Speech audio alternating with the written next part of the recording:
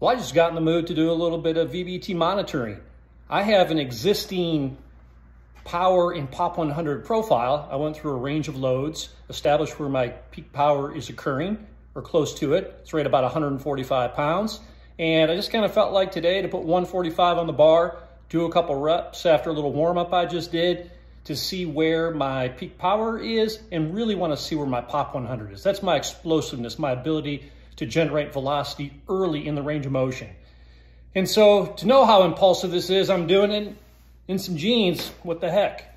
So I've got the MoveFactorX on the barbell here, synced up to the MoveFactorX Sport mobile application. We've got POP 100 velocity.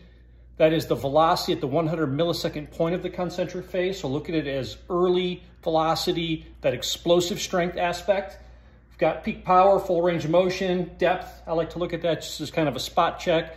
I'm interested in hitting between like 20 and 22 inches.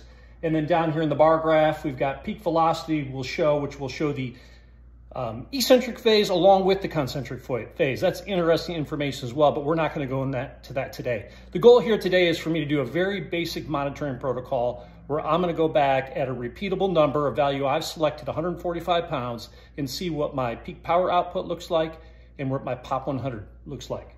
So let me get this going. Excuse my mugs. I come in here to pull the bar. And I'm gonna fire off two repetitions.